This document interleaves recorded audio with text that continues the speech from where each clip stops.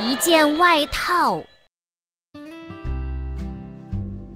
放学了，我和姐姐一起在校门口等妈妈来接我们回家。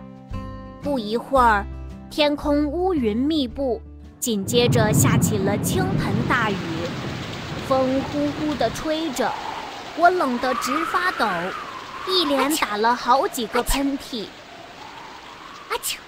姐姐看到了，连忙脱下外套披在我身上。外套暖暖的，我一下子就不觉得冷了。